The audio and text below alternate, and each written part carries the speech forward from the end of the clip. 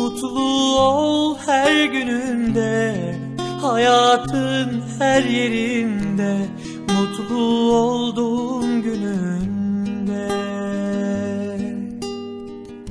Sevinçlerin senin elinde Dilek tut hislerinle Kabul olurdu.